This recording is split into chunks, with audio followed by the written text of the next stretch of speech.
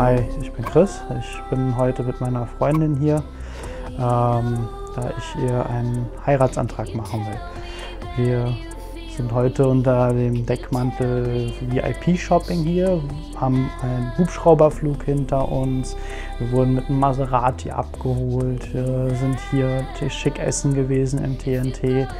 Wir haben äh, schon hier äh, Einkaufsgutschein bekommen, wir haben ein schönes Kleid uns schon geholt und ja, Lisa denkt halt die ganze Zeit, dass es heute Abend auf eine Veranstaltung geht. Was sie nicht weiß ist, der Tag dreht sich wirklich eigentlich nur um sie und ums große Finale, nämlich den Antrag, den sie dann gleich bekommen wird von mir.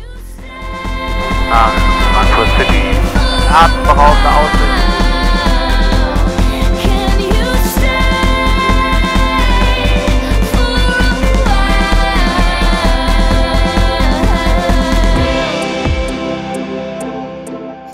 Lisa ist jetzt gerade noch mit meiner Schwester im Maizeil am Shoppen und suchen noch Accessoires, Handtasche, Schuhe, alles was noch so fehlt dazu.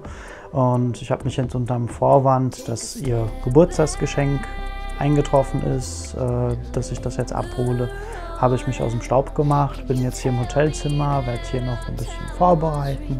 Dann werde ich mich gleich umziehen, werde meinen Anzug anziehen, dann geht es rüber aufs Dach von der Maizeil.